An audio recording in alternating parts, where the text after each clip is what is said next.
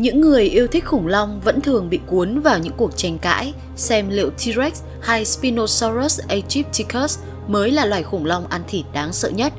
Ví dụ như ông này, ông này và ông này nữa. Tuy nhiên, trên thực tế, hai con quái vật này chưa bao giờ có cơ hội đọ sức với nhau do chúng không cùng tồn tại trên cùng một địa điểm khi mà Spinosaurus aegypticus sống ở Bắc Phi ngày nay, trong khi T-Rex thống trị khu vực Bắc Mỹ. Thậm chí thời đại của chúng còn cách nhau hàng triệu năm. Trong quá khứ, Spinosaurus đã từng đối mặt với một kẻ tử thù cũng nguy hiểm không kém, thậm chí có phần to lớn hơn cả T-Rex. Đó chính là loài khủng long ăn thịt nguy hiểm bậc nhất của kỷ Creta từng sinh sống tại Bắc Phi. Các Charodontosaurus, sát thủ răng cá mập bị lầm tưởng là bạo chúa Bắc Phi. Chào mừng các bạn đến với số 13 của Hồ sơ khủng long trên kênh Uncheck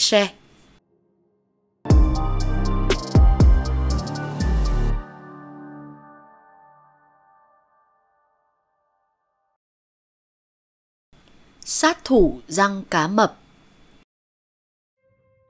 Cái tên Carcharodontosaurus có nghĩa là thằn lằn răng sắc hay thằn lằn răng cá mập, bắt nguồn từ chi cá mập Carcharodon, bao gồm cá mập trắng lớn là Carcharodon cacharias. Carcharodontosaurus có bộ răng vô cùng sắc bén, với mỗi chiếc có thể dài đến 20 cm.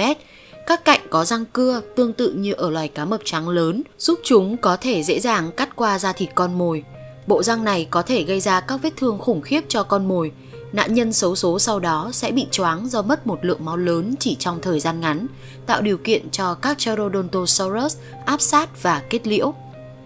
Các Charodontosaurus có cấu trúc cơ thể giống với đa số các loài theropod ăn thịt khi có các chân sau rất khỏe, trong khi chi trước thoái hóa cùng một cái đuôi dài giúp giữ thăng bằng – các ước tính gần đây cũng cho thấy chiều dài của nó vào khoảng 12 đến 13 mét và nặng từ 6 đến 15 tấn, gần tương đương với kích thước của một con Spinosaurus hoặc T-Rex trưởng thành. Qua đó, nghiễm nhiên có một vị trí trong bảng xếp hạng các loài khủng long ăn thịt lớn nhất. Giống như những loài khủng long của họ hàng, các Charodontosaurus sở hữu một hộp sọ khổng lồ. Theo ước tính, Hộp sọ của các Charodontosaurus dài đến 1,6 mét, chỉ thua kém người họ hàng ở Nam Mỹ của chúng là Giganotosaurus. Tuy nhiên, điểm khác biệt lớn nhất nằm ở cấu tạo của hộp sọ với phần mái sọ cong lên và có các hố lớn bất thường ở hai bên so với cấu trúc tương tự ở T-Rex và các loài theropod khác. Điều này làm cho hộp sọ nhẹ hơn rất nhiều so với kích thước khổng lồ của nó. Các hóa thạch được phát hiện gần đây cho phép các nhà khoa học nghiên cứu sâu hơn về loài Carcharodontosaurus saharicus, qua đó có thể hình dung được cách thức sinh sống và săn mồi của chúng. Theo nghiên cứu của Donald Henderson, các Charodontosaurus có khả năng nhấc được các con mồi nặng đến 424 kg dựa trên các tính toán sức mạnh của bộ hàm, khối cơ vùng cổ và trọng tâm của con vật. Các nhà khảo cổ cũng tìm thấy bằng chứng của các túi khí trong bộ xương hóa thạch của các Charodontosaurus. Tương tự với các loài chim hiện đại, các túi khí này có vai trò rất quan trọng trong việc hô hấp. Hệ thống này giúp cung cấp oxy rất hiệu quả cho hoạt động của kẻ ăn thịt đáng sợ này, nhất là khi chúng cần phải di chuyển liên tục để tìm thức ăn. Tính trung bình, mỗi cá thể các Charodontosaurus cần tiêu thụ đến 60 kg thịt mỗi ngày và chúng phải di chuyển trong một khu vực rộng khoảng 500 km vuông để tìm thức ăn. Các Charodontosaurus nói riêng và các thành viên trong họ các Charodontosauridae thường bị xem là kém thông minh hơn T-Rex do có bộ não nhỏ hơn. Đây là một quan niệm sai lầm vì kích thước không quan trọng bằng sự phát triển của các thành phần riêng biệt của não bộ như thần kinh, trí nhớ và tư duy. Ví dụ như một loài động vật có vùng cảm ứng như khứu giác và thị giác lớn hơn một loài khác không có nghĩa là có trí thông minh vượt trội hơn bởi vì những vùng não bộ này không có khả năng suy nghĩ hay giải quyết vấn đề. Vùng khứu giác trên não của các Charodontosaurus rất phát triển, cho thấy chúng có khả năng đánh hơi cực kỳ nhạy bén, có lẽ tốt hơn cả loài chó hiện đại và không thua kém gì T-Rex khíu giác phát triển giúp cho các Charodontosaurus có khả năng lần theo dấu của con mồi dù ở khoảng cách rất xa. Mặc dù có thần kinh thị giác và hốc mắt rất lớn, nhưng có vẻ thị lực của chúng vẫn bị hạn chế do mắt nằm ở hai bên đầu, khiến chúng không có thị trường hai bên giống như những con T-Rex. Tuy nhiên, thị giác vẫn đóng một vai trò rất quan trọng trong khả năng săn mồi của các Charodontosaurus khi có khả năng quan sát thị trường lập thể giúp chúng nhận biết được chiều sâu, ước lượng khoảng cách tới con mồi. Não bộ của các Charodontosaurus giống với các Archosauria đời đầu với nhiều đặc tính tương tự ở các loài bò sát khác nhau như cá sấu và rùa. Kích thước não bộ của các Charodontosaurus có lẽ sẽ được ước tính dựa trên các tổ tiên Archosauria của chúng do nhiều loại theropod có chung nguồn gốc cũng có tỷ lệ đại não so với toàn bộ thể tích não bộ tương tự, chẳng hạn như Allosaurus fragilis. Khi cơ thể chúng trở nên to hơn, bộ não vẫn giữ nguyên kích thước dẫn đến việc chúng không thể phát triển thêm nữa về mặt sinh học. Trong khi đó, các khủng long colurosauria bao gồm T-Rex và các tổ tiên của loài chim hiện đại lại có não bộ phát triển theo hướng khác với các Archosauria cổ đại, cho phép chúng có khả năng tư duy tốt hơn. Do đó, có thể thấy các Charodontosaurus không thuộc về xu thế tiến hóa chung của các loài khủng long. Đây có thể là một trong các lý do tại sao các chi các Charodontosauridae lại biến mất vào cuối kỷ Creta để nhường chỗ cho các loài khủng long mới ưu việt hơn gã bạo chúa Bắc Phi. Mặc dù được mệnh danh là T-Rex châu Phi khiến nhiều người lầm tưởng hai loài là một trong suốt một thời gian dài, tuy nhiên trên thực tế các Charodontosaurus gần như không có quan hệ họ hàng với loài khủng long ăn thịt khét tiếng này, ngoại trừ điểm chung duy nhất là cả hai đều có chung nguồn gốc từ phân bộ Theropoda. Các Charodontosaurus là hậu duệ của các khủng long Allosaurus thuộc nhánh Canosauria trong khi T-Rex được cho là tiến hóa từ các khủng long thuộc nhánh Colurosauria. Các Charodontosaurus cũng là loài đại diện cho họ các Charodontosauridae, bao gồm loại khủng long ăn thịt có kích thước khổng lồ khác như Giganotosaurus, Mapusaurus hay Tyrannotitan.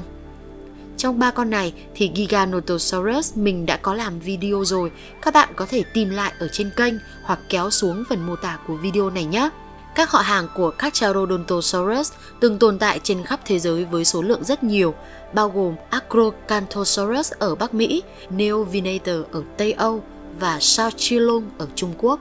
Tuy nhiên thì các loài thuộc nhóm các Charodontosaurus đã biến mất vào cuối kỷ Creta, nhường chỗ cho sự thống trị của các bạo long ở phương Bắc và Abelisaurus ở phía Nam. Những bằng chứng đầu tiên về sự tồn tại của các Charodontosaurus được tìm thấy vào năm 1924 khi hai nhà khảo cổ người Pháp Charles Duperet và Justin Savonin khai quật được một vài chiếc răng khổng lồ có nguồn gốc từ giai đoạn hậu kỷ Creta tại Continental Intercoquer của đất nước Algeria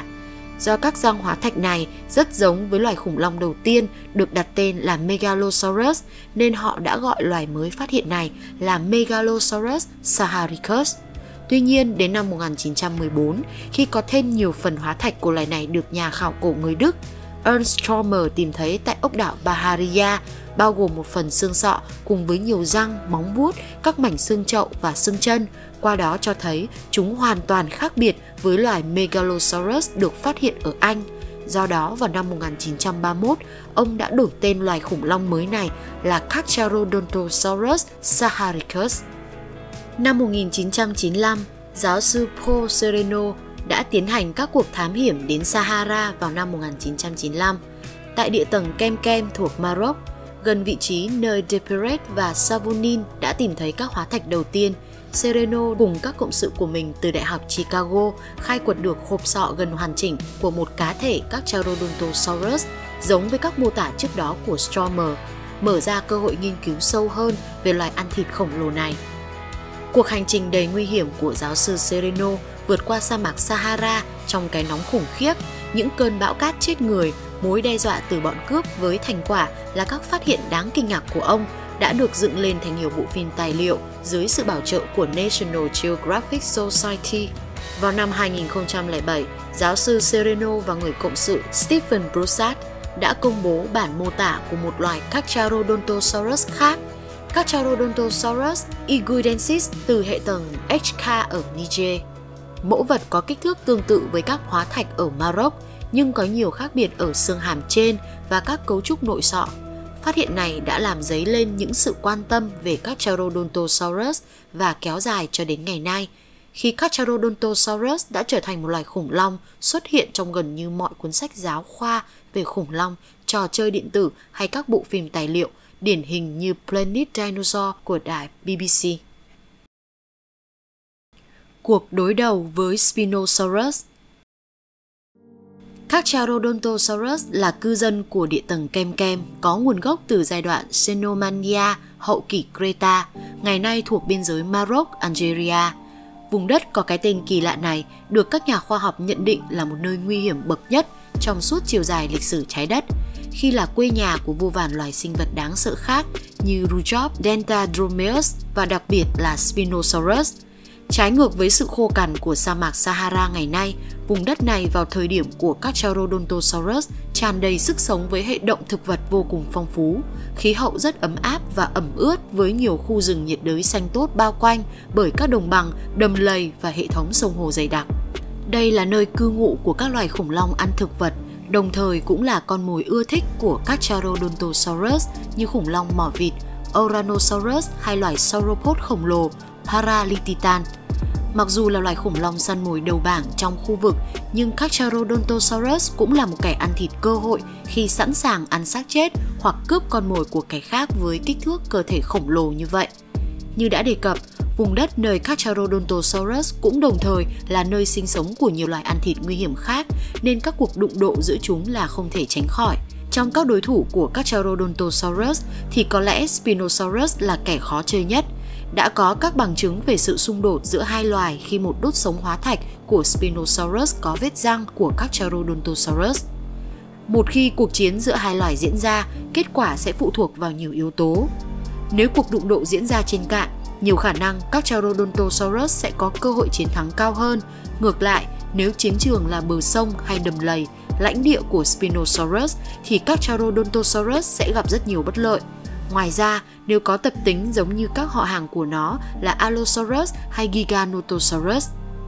Các Charodontosaurus thường không đi săn một mình. Khi đó, dù có to lớn đến mức nào thì một Spinosaurus trưởng thành cũng khó có thể địch lại được số đông. Thậm chí đã có trường hợp các Charodontosaurus còn chủ động săn các Spinosaurus chưa trưởng thành hoặc quá già để ăn thịt. Một chi tiết thú vị liên quan đến cặp đối thủ không đội trời chung này là chúng đều chia sẻ số phận trùng hợp đến kỳ lạ. Cả hai đều được đặt tên bởi nhà khảo cổ Ernst Ostrom và các hóa thạch đầu tiên hoàn chỉnh nhất của chúng đều bị phá hủy trong một cuộc không kích của quân đồng minh vào thành phố Munich của Đức trong đệ nhị thế chiến, dẫn đến những khó khăn trong việc nghiên cứu về hai loài này trong suốt một thời gian dài. Sự biến mất vào giai đoạn Cenomania, mực nước biển dâng lên khiến siêu lục địa Gondwana bị phân tách thành nhiều phần, chia cắt các quần thể khủng long, trong đó có các quần thể của các Charodontosaurus bị chia cắt, dẫn đến việc hình thành hai loài riêng biệt. Trong đó, các Charodontosaurus saharicus ở phía Bắc và các Charodontosaurus iguidensis ở phía Nam – đây cũng là lý do tại sao các họ hàng của chi các Charodontosaurus cũng có ngoại hình tương tự khi phần lục địa Nam Mỹ bị tách khỏi Gondwana. Hiện tượng này được gọi là sự hình thành loài khác vùng allopatric Speciation – hiện tượng nước biển dâng lên đã phá hủy phần lớn các đầm lầy ven biển và vùng đồng bằng ngập nước xanh tươi của Bắc Phi, kéo theo sự hủy diệt của toàn bộ hệ sinh thái trong khu vực và sự tuyệt chủng của các loài sinh vật đứng đầu chuỗi thức ăn như các Charodontosaurid và Spinosaurid là điều không tránh khỏi.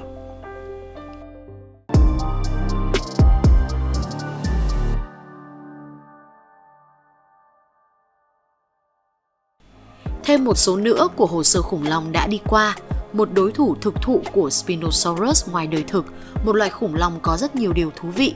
Nếu các bạn thấy video này hữu ích, có thể để lại một like, một subscribe và ấn chuông thông báo. Các bạn cũng có thể yêu cầu mình làm về một loài sinh vật nào đó mà các bạn yêu thích ở dưới phần bình luận nhé.